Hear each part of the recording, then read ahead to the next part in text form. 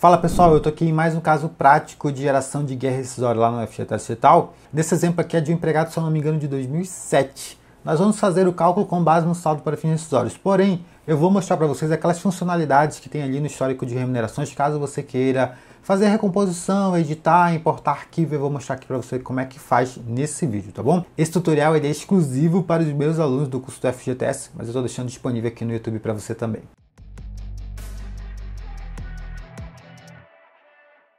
Fala DP Conectado, aqui é o Luciano Pimentel, seja bem-vindo aqui ao YouTube, é sempre um prazer ter a companhia de vocês. Estamos aqui em mais um tutorial de emissão de guia rescisória do FGTS Tal. Quero já aproveitar e abrir parênteses e agradecer os meus alunos dos cursos do FGTS, que eles que estão compartilhando acesso e me ajudando com esse conteúdo, com a captura de tela. Então, quero agradecer de coração, muito obrigado pela ajuda de vocês, tá bom? Nesse tutorial, como eu já falei, é um empregado bastante antigo. Nós vamos fazer o cálculo com base no saldo para fins decisórios, mas também vamos explorar as funcionalidades disponíveis no módulo de remuneração para fins rescisórios, tá bom? Já verificou a inscrição aqui no canal? Se não está inscrito, clica no botão de se inscrever, deixa like e vamos pro vídeo. Vamos lá então, vamos acessar o portal, certo? gov.br, vamos fazer o login com o certificado digital. Beleza, vamos acessar aqui por procuração. Colocar aqui os dados de acesso. Muito bem, vamos aqui em gestão de guias. Ah, se você poderia ir direto em gestão de guias, caso você queira emitir já guia. Vamos lá, emissão de guia rápida. Vamos ver se ele vai aparecer o aviso. Ele sempre apresenta esse aviso aqui, tá, pessoal? Na parte superior, quando o cálculo da multa não foi feito automaticamente. Eu já sei porque o aluno aqui já me avisou que não foi feito automaticamente. Também existe a possibilidade de eu gerar guia por aqui.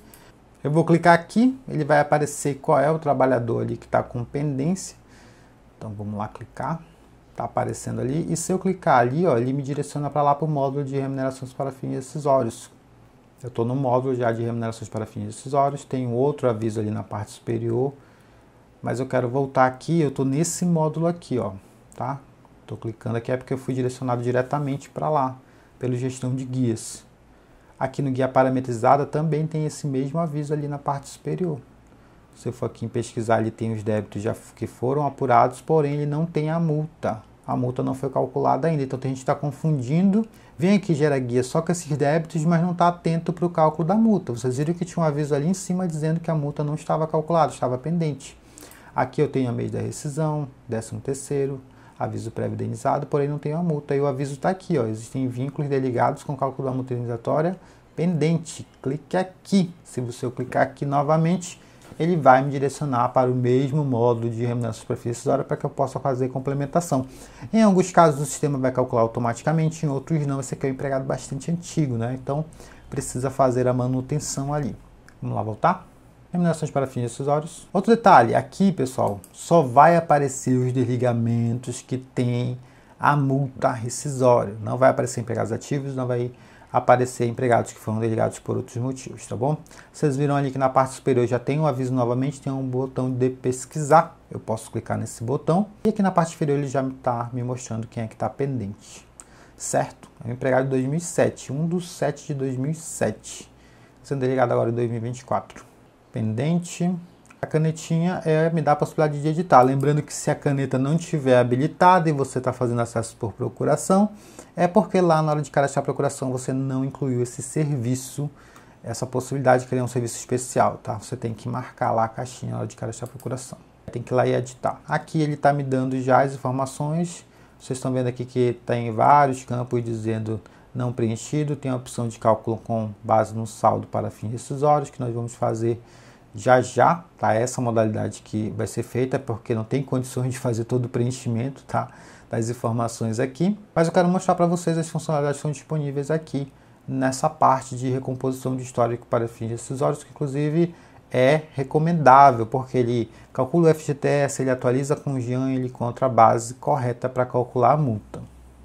Vamos lá, ó, tem vários meses não preenchidos, de 2008, 2007, certo? Aqui eu vou usar um filtro ali para aumentar, ok? Aí tem vários meses aí que estão em abertos. Eu poderia, como eu falei, fazer ali o arquivo de importação, né? Ó, tem vários, vários, vários meses. Tem várias possibilidades aqui de fazer essas recomposições, tá? Editando os campos, fazendo um arquivo de importação aqui embaixo, certo? É, vocês podem ver aqui, ó, tem várias abas. Esse aqui já foi que veio pelo E-Social, pelo que já foi escriturado ali a partir da folha. 5 de 2021 é uma empresa do grupo 3, né? Então tem vários, vários meses que faltam ser complementados. Aqui, caso a empresa é, optasse por fazer essa complementação, aí tinha que fazer as edições ou arquivo de importação. Eu vou mostrar aqui para vocês, tá? Sem acessar lá o portal do FGTS Digital, for lá na parte de documentos ali, manuais, tem o layout do arquivo que você constrói caso você queira, tá? Tem as orientações ali de construção desse arquivo. Os softwares de folha também podem gerar, eu não sei qual é a situação do teu software, mas ele pode gerar também esse arquivo de importação. É, mas ele não é tão difícil de gerar, tá? Caso você queira fazer manual, você consegue, basta seguir as orientações que estão aqui. Você pode fazer isso num bloco de notas. Então, na primeira linha aqui começa com raiz CNPJ, CPF, data de admissão e a matrícula. Na linha 2, sempre a linha 2 vai ser competência, categoria, remuneração, se tiver décimo, você lança. Se tiver afastamento, você lança também. Tá, olha aqui, tem um décimo. Esse aqui, coluna aqui é do décimo. E aí você consegue gerar um arquivo desse aqui no bloco de notas com vários trabalhadores. Essa linha que está mais destacada aqui é a linha 1, aonde você tem ali os dados da empresa, do trabalhador. E aqui vocês podem gerar esse arquivo de importação, tá bom? Então, continuando. Aqui, por exemplo, tem a possibilidade de editar. Clico aqui na canetinha, também. Venho aqui, defino ali qual é o tipo de remuneração, se é o salário mínimo, se é o valor fixo, se eu quero importar do mês anterior do, do mês posterior ou se é um afastamento ali sem direito a FGTS. Tenho que informar a categoria do empregado, o valor da remuneração e, se for o caso, eu tenho que informar também é, o valor do 13 terceiro salário, tá? Ali eu escolhi atribuir um valor fixo. Então eu vou em confirmar e aí o sistema vai carregar. Pronto, ele carregou a remuneração ali com sucesso. Eu procurar aqui, ó, tá aqui, ó. Inclusão foi feita manual. Ele encontrou o valor do FGTS e atualizou com o JAN, tá? Aí, ó, o valor do FGTS atualizou com o JAN ali, seria o saldo atualizado até o momento. Eu posso fazer isso em todos os meses, fazer essa manutenção manual. Claro que isso aí vai dar um trabalho, mas o meu intuito aqui é só mostrar para vocês as funcionalidades disponíveis ali, tá bom? Agora a gente vai construir aqui um arquivo de importação rapidamente, tá? Vou mostrar para vocês como é que é fácil de construir. Deixa eu pegar aqui um bloco de notas, prontinho. Então, seguindo as orientações que estão disponíveis lá no, no documento ali de orientação do FGTS e tal, eu preciso na linha 1 ter a, o CNPJ da empresa, então um ponto vírgula, eu tenho que ter a raiz do CNPJ da empresa, tem todas as informações aqui nesse cabeçalho, ponto e vírgula CPF do trabalhador, ponto e vírgula data de admissão, ponto e vírgula matrícula. Beleza, ponto e vírgula no final. Então eu fiz essa primeira linha aqui, certo? Vamos agora fazer a linha 2. A linha 2 é a linha da remuneração. Então na linha 2 eu preciso colocar a competência, seguindo aqui o layout. Então, ponto e vírgula, agora eu vou incluir a categoria, ponto e vírgula, incluir a remuneração. E aí eu tenho que colocar ponto e vírgula e mais um ponto e vírgula. Acho que é dois pontos e vírgula aqui que você vai colocar. Beleza? Eu posso copiar e colar se a remuneração for a mesma, tá? Copiar a mesma linha ali, alterar a competência. Categoria vai ser a mesma. E a remuneração, se for diferente, eu também posso alterar. Se tiver décimo, eu posso incluir. Se tiver afastamento, eu posso lançar aqui também. Mas você pode seguir a orientação que está aqui no layout, certo? Eu vou aqui agora salvar o arquivo para a gente poder fazer essa importação. Vamos lá, FGTS Digital, lá na parte inferior.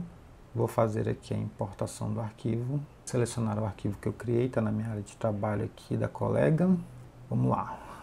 Abrir, importar, vamos confirmar aqui prontinho, importado com sucesso para o histórico de remunerações. Inclusive, o sistema até atualiza a multa depois que você faz a importação, certo?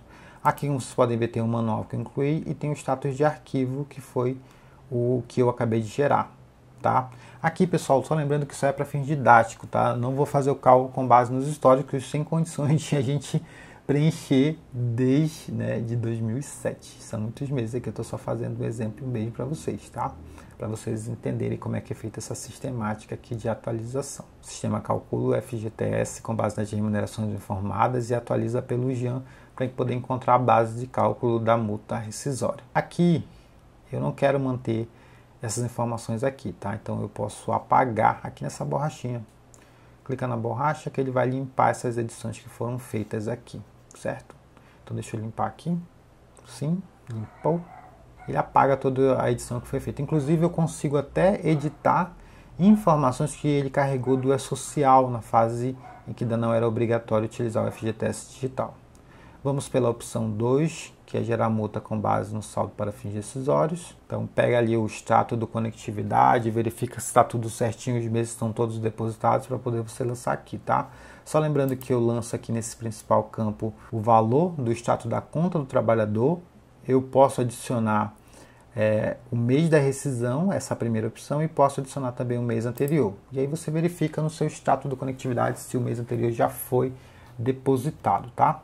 Eu vou preencher aqui as informações, então, pegando o status aqui, ó, aqui tem dois valores diferentes, tá? O empregado já fez saque, então eu tenho que usar o saldo para fins decisórios. É esse valor que eu vou lançar aqui. Pronto. Vou lançar aqui o mês da rescisão, que não tá. Essa primeira opção, base de cálculo do FGTS, aviso prévio indenizado, 13 terceiro salário. E também vou verificar se o mês anterior já está aqui nesse saldo, senão eu posso incluir também aqui para ele compor a base. Feito isso, eu posso concluir e enviar, tá? Aqui tem a base total, os 40% e o valor da multa compensatória, tá? Eu posso clicar ali no botão concluir e enviar para a gestão de guias. Vamos lá? Marca ali que você confirma que está tudo certinho. Pronto, ele calculou a multa automaticamente ali agora, né, com base nesses dados que eu acabei de informar no sistema. Aí a gente pode vir aqui na principal, deixa eu pesquisar aqui novamente. Ele já vai estar tá como concluído com base no saldo. Opa, Deixa eu ver aqui, ah, filtro aqui concluído com saldo rescisório, tá? Eu posso visualizar se eu quiser, tá bom? Aqui ele traz todos os históricos de cálculo que o sistema realizou. Eu vou voltar. E agora, pessoal, é aquele passo a passo, né? Que a gente já conhece, quem está acompanhando nossos tutoriais aqui já sabe. A gente vai lá em guia parametrizada e vai fazer todo o passo a passo para emissão de guia. Vamos voltar aqui na casinha, gestão de guias, guia parametrizada. Não tem mais aquele aviso de pendência aqui, porque o cálculo já foi realizado.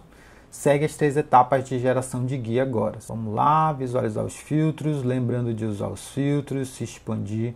É recomendável utilizar o filtro por CPF caso você queira separar as guias, tá? De repente tem mais um desligamento no mesmo dia, usa o filtro de CPF ali e vai gerando guia de cada trabalhador de maneira individual. Vou aqui em pesquisar. Os débitos já estão listados aqui, agora sim, agora está aparecendo aqui a multa também, certo? Não estava aparecendo quando nós fizemos a primeira consulta. Eu vou selecionar todos, vou em adicionar na guia.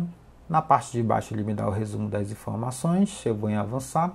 Na segunda etapa, é a etapa que eu defino o vencimento e posso também colocar ali uma tag para guia, definir um nome para guia.